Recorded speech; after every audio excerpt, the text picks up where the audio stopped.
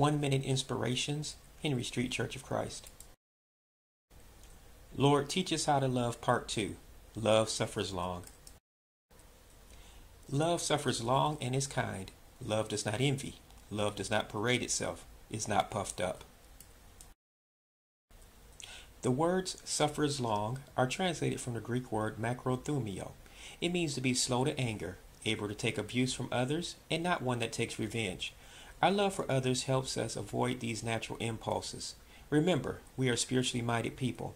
Our level of skill in this area of life is based on our level of love for others. If you struggle in this area of your Christian life, ask God for help.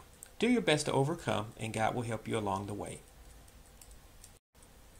This is a ministry of the Henry Street Church of Christ, 309 Henry Street, Gadsden, Alabama, USA 35901.